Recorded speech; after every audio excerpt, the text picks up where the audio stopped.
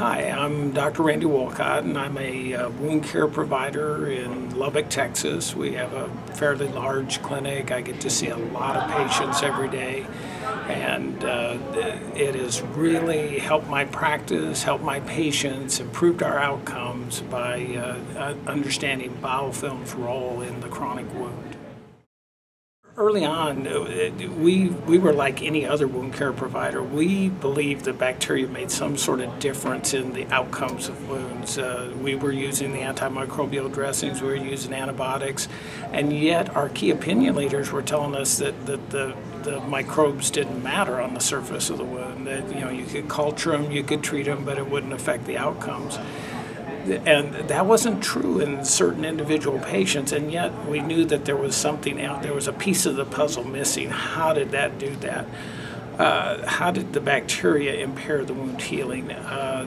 got linked up with Bill Costerton uh, through uh, finding some material on the internet and stuff. At CBE, Garth James, Bill Costerton, they were very gracious. The other, Phil Stewart, they were all uh, very helpful and very interested that, that we understood what biofilm was and uh, very interested in where that would lead us uh, in medicine. Uh, so we did some early studies, and, and basically the question was, uh, is a chronic wound a chronic infection? Uh, we, we did the, the, the microscopic evaluation of about 50 chronic wounds and found that there was biofilm in the in the majority of wounds. Not saying that there wasn't biofilm in the rest of the wounds, okay, but we could we could clearly identify biofilm structures in 60 percent. Uh, my, my suspicion was even at that time that chronic wounds behaved chronically or acted the way they did because of the presence of biofilm.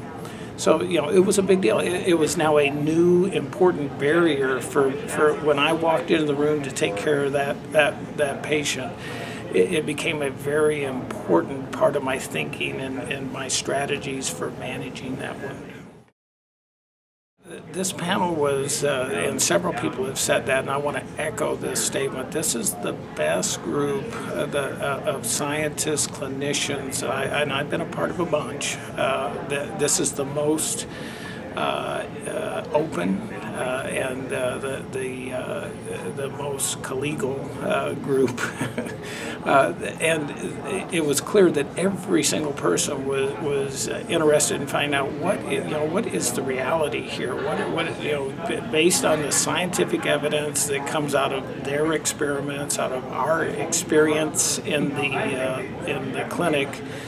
Uh, what role does biofilm play in, in uh, the non-healing or the poor outcomes in wounds? And, and it, it, was clear from all the information that, that we reviewed and uh, the, the science that was cited here uh, that, that biofilm is a major barrier in why chronic wounds uh, do not heal and, and behave the way they do.